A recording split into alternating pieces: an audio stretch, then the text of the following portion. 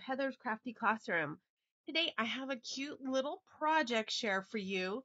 Nothing huge, but Michelle over at a creative operation, I think that's her name, um, showed this little book this weekend and I thought, oh, I gotta make one.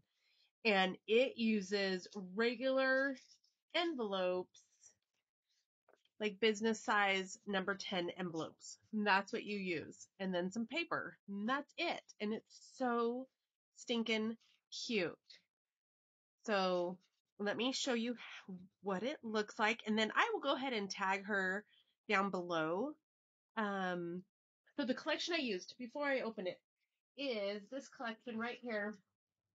It is Photo Play Summer Daydreams this is, I've had it for several years. I don't know how old it is, but I have two collections and I'm almost out of the first one. So trying to do like Michelle and kill a kit here. Sorry, kill the. So this is what I have left in here. So not a bunch.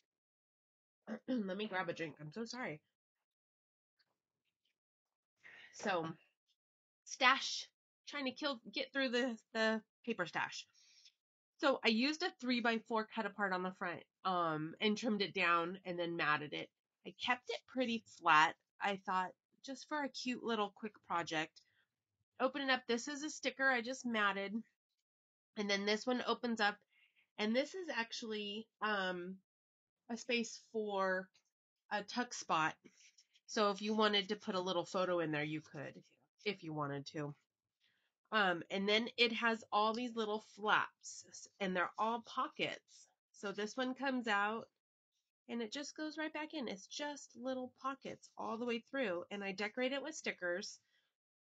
Um, this one I put this sticker. This one I left plain. A lot of them I did because I thought this is big enough for a picture. And then this one has a cut apart on it. Let the sun shine in, but there's plenty of space on the back side. Um, so photo, photo. This one is a four by six cut apart, keeping it cool as a popsicle. But you can put a photo on the back. I just matted it on the decorative paper. Um, left this one playing. This one is another one I left for a photo, a tuck spot. So you, you could tuck a photo. This day was perfect. And then this one has a big long one in it. Um, and then this side has a little one on the back. So there's this one and then this one over here. And they're just all plain on the back, but plenty of space for photos. And I just thought it was so cute. I sent her a message going, Oh my gosh, I gotta find these envelopes. So I went into my office and found them, and here we are.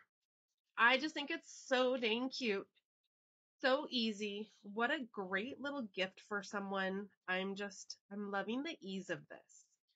Now I have, you know, whenever she makes something, my mind goes crazy and I think of all kinds of other things to do with this. So we'll see what else I make.